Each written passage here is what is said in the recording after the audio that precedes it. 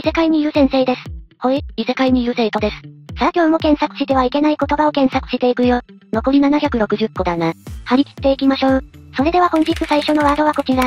忍者流剣でコンティニューなーにこれ？これは検索すると、忍者龍剣伝というゲーム会社テクモが発売した、アーケードゲームのコンティニュー画面の動画がヒットするよ。どういうゲームなん？父の仇を追ううちに、世界の命運をかけた戦いに巻き込まれていく。ってな感じで忍者が頑張るんよ。CIA とかも出てきて世界観意味不明らしいよ。ええでもカルト的な人気があるみたい。そうなんだ、ほんで？コンティニュー画面うん、そのコンティニュー画面は主人公の忍者が縛られており、その忍者の腹の上から丸の子が降りてきてさ。え？忍者の腹の元にそのまま封印するという、残酷な描写なんよね。どうして？ファミコン版も発売されているんだけどこの画面は出てこないみたい。削除されとるやん。ニコニコ動画で見れるので、興味ある人は見てみてください。次のワードはこちら。バトルフォーネクストショットなーにそれ？これは検索すると同名のフリーゲームがヒットして、ブラウザでできるよ。どんなゲームなん？3対3で対戦するじゃんけんロシアンルーレットゲームで。え？グー、チョキ、パーを選んで相手とじゃんけんをして、負けた方が自分に向けて引き金を引くんよ。デジャブかな？前にも似たようなゲームあったよな。あったね、みんな好きなんよロシアンルーレット。言うほど好きか？銃弾は1発しか入ってないからなかなか当たらないんだけど、どちらかが死んでしまったらラウンド終了で3ラウンド行うんだ。はい3人分の命か。ほんでその時の描写がグロいから興味ある人だけプレイしてみてください。次のワードはこちら。カートゥーンボックスなーにそれ？これは検索すると YouTube で見れる海外の短編アニメがヒットするよ。なんと登録者800万。えーと、私たちのチャンネルの80倍か。もうインフレしてるでしょ？すごすぎて、もうよくわからんて。ほんでどんなアニメなん？グロ要素抑えめのハッピーツリーフレンズ的な。というと言語がなくて、おう、う、えー、みたいな感じで会話していってさ。英語がわからなくても見れるアニメで、基本的に、どの回でも人が死ぬんだ。え？ー、私が見た回は男女が料理していて、男に包丁を渡す時に腹に刺さっちゃってさ、死体を森に埋めるって話だった。どんな話？わかりやすくてコミカルに死を表現しているからおもろいよ。もうこんなん死神界のクリエイターやん。興味ある人は見てみてください。次のワードはこちら。グッドインテンションズフラッシュなーにそれ？検索すると、 Good Intentions というページがヒットして、内容は、様々な画像がスライドショーのように、表示されていくフラッシュムービーが埋め込まれているんだ。どんなものかというと、序盤は陽気な音楽をバックに、花畑や笑顔の人々など、ええ感じの画像が表示されていくんだけど、後半、急に大音量の叫び声とともに恐怖画像が表示されるよ。やめて。ほんで、スライドショーも終わったかな？ってところで、再度、同じ恐怖画像が叫び声とともに表示されて終了するって感じ。悪質だな心臓を破壊しに来るからご注意ください。次のワードはこちら。ジャスティスエルダムなーにそれ？これ知ってびっくりしたんだけど、検索すると、オーストラリア出身のミュージシャンがヒットするよ。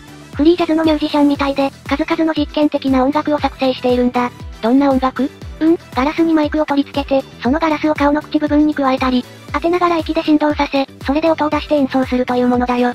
は？だって本当なんだもん。音出るん？一応ね、出ているよ。というかそれはどうでもよくて、ミュージシャンなんだから一番大事だろそれ。やばいのは、はちゃめちゃに怪我していてさ。え？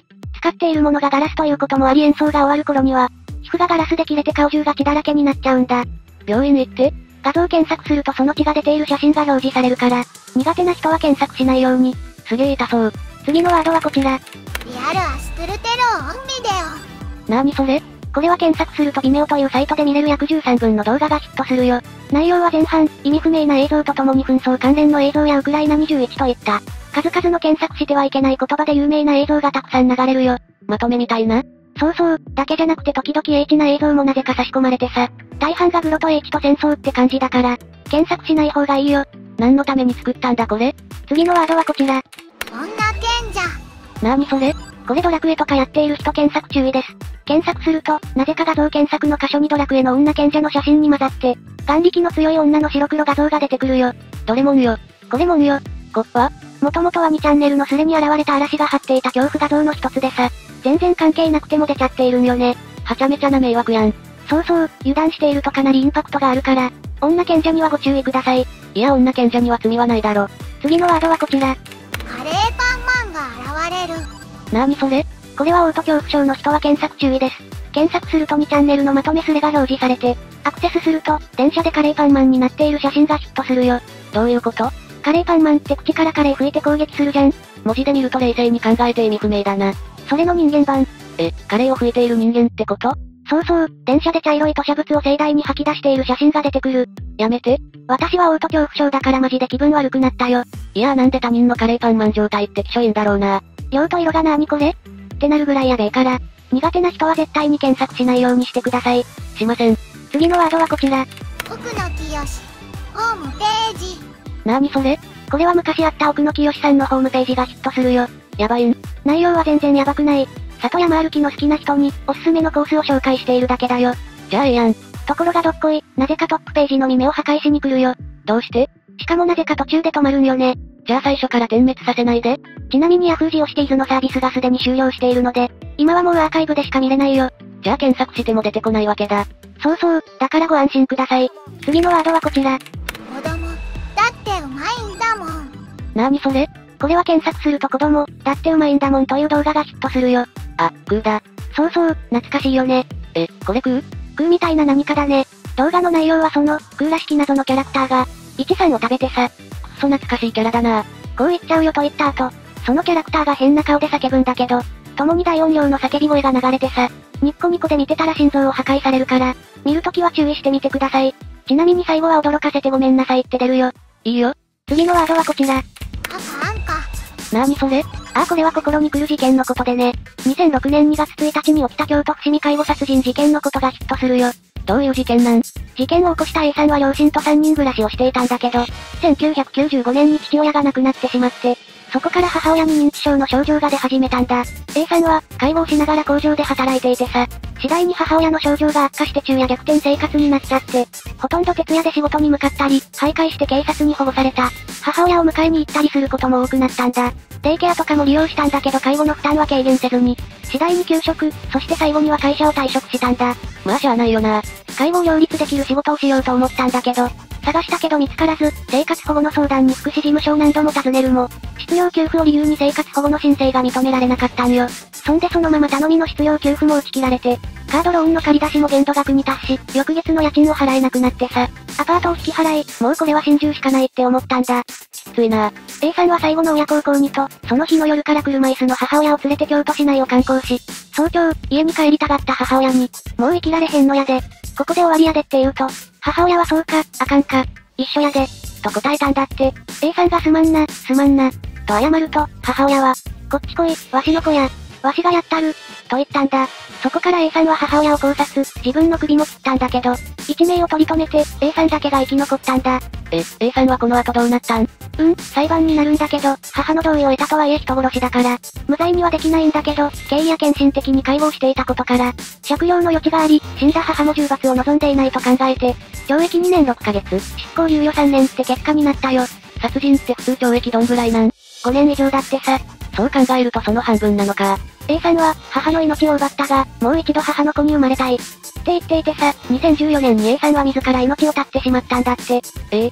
男性が身につけていたポーチからは母親のへその音数百円の所持金、一緒に焼いてほしいと書かれたメモが見つかったんだってさ。いや、きついって。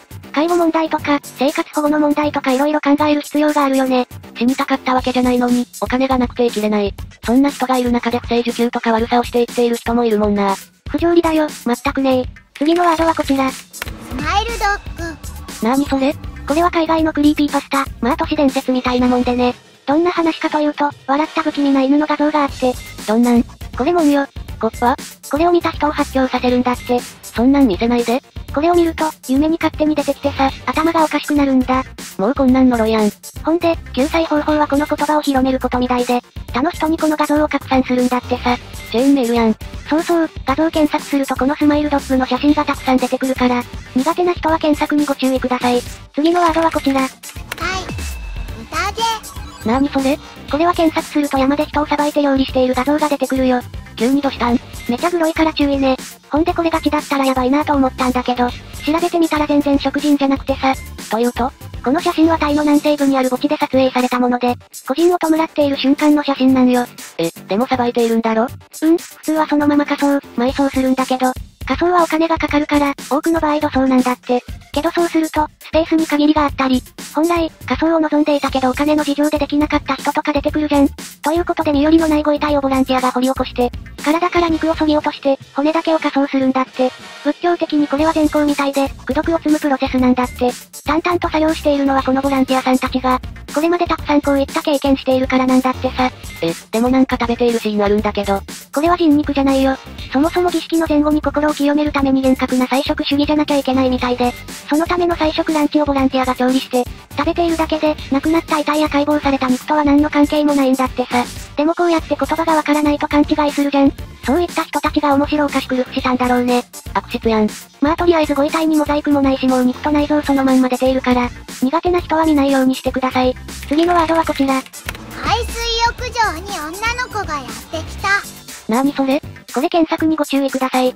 検索すると、ボッカキットさんの記事がヒットして、内容はブラジルの海で、一人の少女二人の少女が暴行していて、めった刺しにするってもの。やっぱ？途中で止めに入るんだけど、それまでがマジでヤバくて、もう淡々とナイフ取り出してぶっ刺してさ、海がちで赤くなるんよ。ええ？なんでこんな怒り狂っているのかわからないんだけど、何にせよ衝撃映像には変わりないから、検索はしないようにしてください。どんな理由であってもナイフでぶっ刺すのは頭おかしいからな。次のワードはこちら。グッバイグッボーイ。なにそれ？これは検索すると沢村千尋さんが制作した、コマ撮りアニメーション作品がヒットしてね。YouTube で見れるよ。アニメか、ええやん。ほんで内容はコミカルに目玉お化けと戯れるだけなんだけど、なんでこれが検索してはいけないのか全くわからないんよね。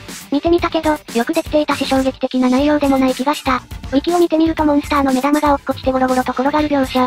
集合体恐怖症の方やグロが苦手な方は注意って書いてあるんだけど、正直、全然問題ないよ。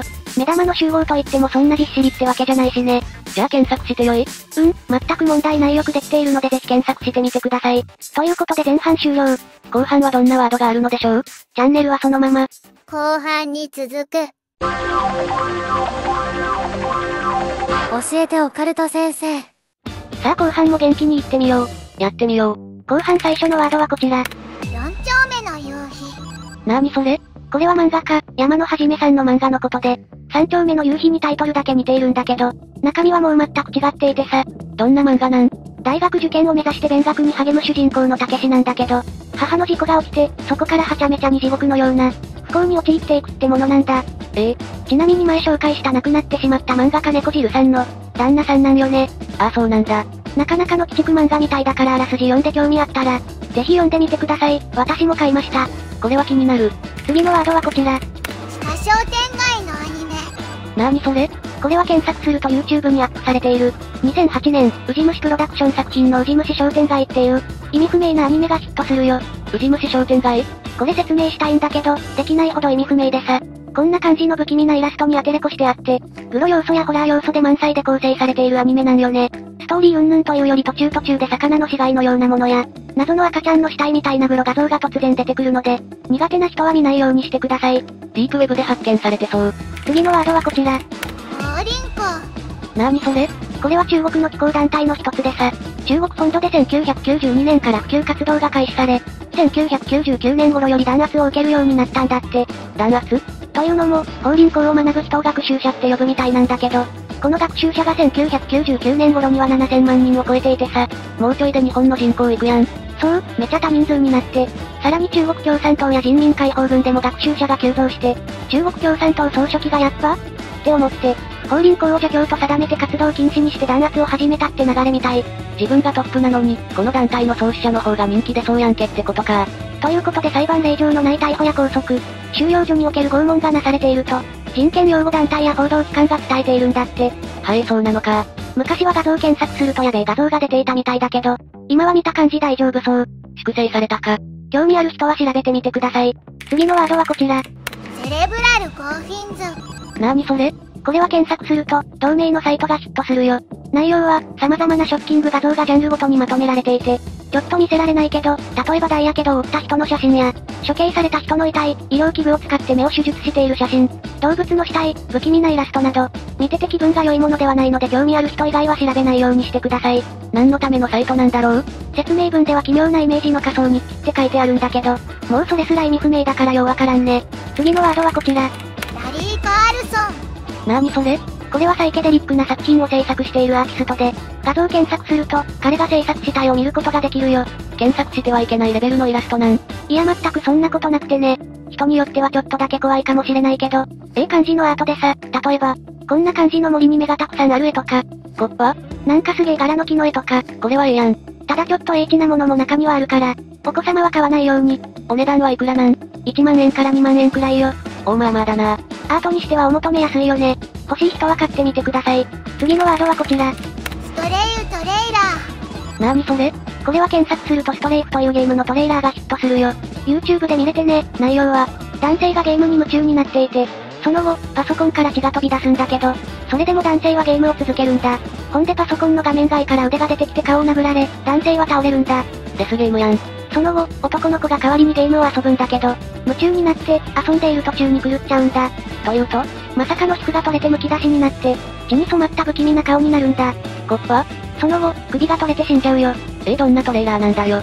ほんで、それを見た母親が叫ぶんだけど、男性がまた起きてゲームをし始めるんよね。依存しとるやん。バリバリに作り物感満載なんだけどグロはグロだから、苦手な人はご注意ください。次のワードはこちら。ハムスターミルクシェイク。なーにそれ？これ、絶対絶対検索しないで。どうして？検索すると閲覧注意ハムスターミルクシェイク作ってみた。って記事がヒットしてさ、内容はハムスター専用のミルクを作ると思いきや、ハムスターを、生きたままミキサーにかけて、ミルクにしちゃうというありえないものなんだ。そんなことある？マジで映像やばくてさ、3台ミキサーがあって、1匹ずつ入っていてさ、ミキサーが稼働して、もうハムスタージュースになっちゃっているんだ。やめて。特にハムスター好きな人はかなり心に来るから絶対に見ないようにしてください。好きじゃなくてもエグいってこれ。ひよこミキサーとはまた違ったヤバさだったね。次のワードはこちら。レンタルチャイルド。なーにそれ？これエグい実態の話でさ、物乞いのために貸し借りされる子供たちのことなんだ。どういうこと？地元マフィアが障害があったり、病気を持った子供たちを誘拐して、物乞いさせるんだ。お金を恵んでくださいみたいな？そうそう、そんで集めたお金をマフィアがかっさらって、子供には最低限のお金を与えるって感じ。シンプルに最悪やん。もっとヤバいのが、より重度の病気や障害を持っていた方が、物乞いの効率が良くなると考えて、腕とかを切り落としたりもするんだって。やっぱ？発展途上国では割と見られる光景みたい。いやきついって。画像検索すると痛々しい写真がたくさん出てくるから、苦手な人は検索しないように。でも実際にあるんだもんな。なんとかならんもんかね次のワードはこちら。山本美香。腕。画像。なーにそれ？これは2012年8月22日、シリアで内戦を取材していた。日本人女性ジャーナリスト山本美香さんがその巻き添えに遭い、銃撃され死亡してしまったんだ。ほんで、昔はこの動画がヒットしていたんだけど、今はクレームがあったのか削除されて見れなくなっているよ。え、どういう動画内容だったん？うん、ご遺体を映していて、彼女は防弾チョッキを身につけていたみたいなんだけど、その防弾チョッキで覆われていた腹部にも銃撃の跡があって、腕、首、腹部から大量の出血をしていたんだって。やばすぎだろ。それだけ危ない場所でシリアの取材をしていたわけよ。ちなみに当時45歳だったよ。まだ全然若いのに。ご冥福をお祈りします。次のワードはこちら。ケビン・マクシュー。ウェディングリング。なーにそれ？これ検索注意です。検索すると切断された指が出てくるよ。いやどうして？この人は1998年にサッカーでプロデビューを果たし、様々なサッカーの大会に出場しアイルランド2部得点王という、輝かしい成績を残したサッカーのベテラン選手でさ、今は現役を引退してサッカーチームのマネージャーをしているんだって。ほんで、どうして指が切断されたかというと、その日もサッカーのコーチングをしていたんだけど、その途中で、フェンスを飛び越えようとしたみたいなんだけど、その時に結婚指輪を引っ掛けてしまったんだって。言ってええそんで迅速に病院に駆け込むために自分の車を運転しようとした時には、もう指が切断されていたんだってさ。いやー怖い怖い。残念ながら指はくっつかなかったんだけど、今も元気にサッカーのコーチしているみたいよ。いやーそれは良かったけど、怖いって。皆さんも結婚指輪とフェンスにはご注意ください。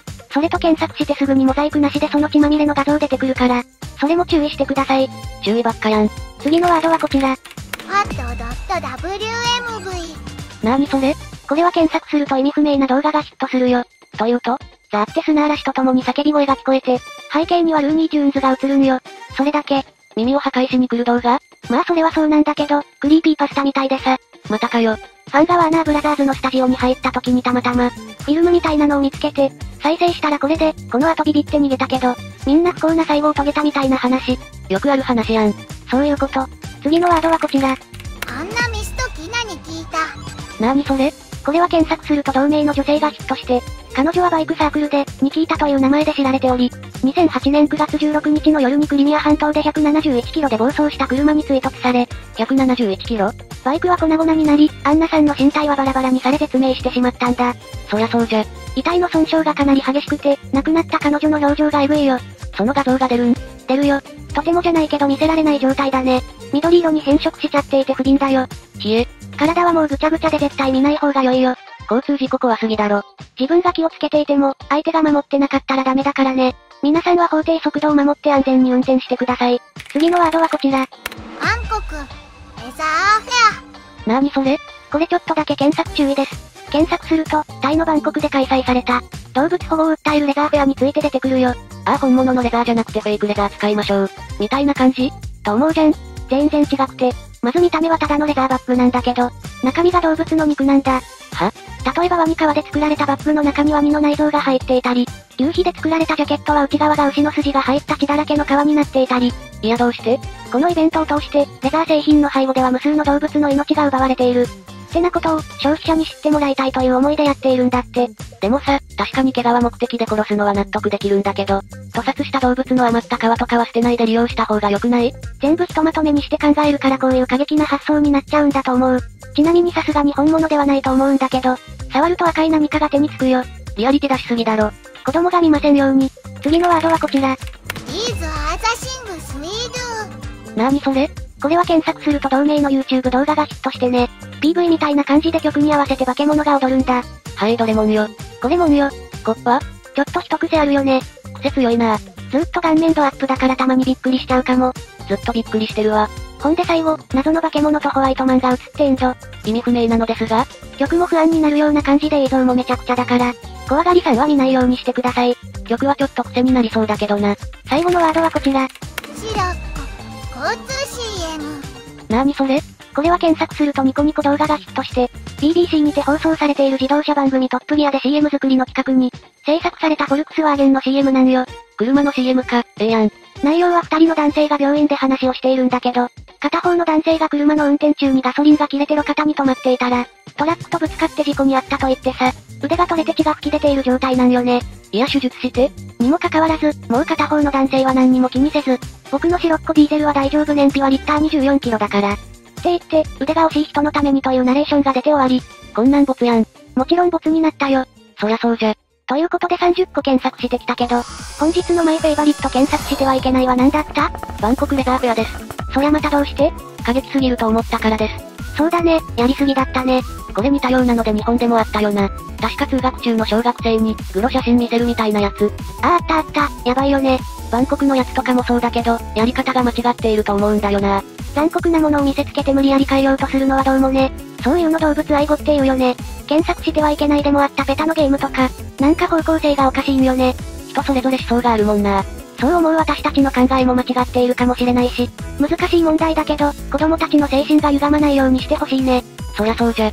それでは本日の授業はここまで。ありがとうございました。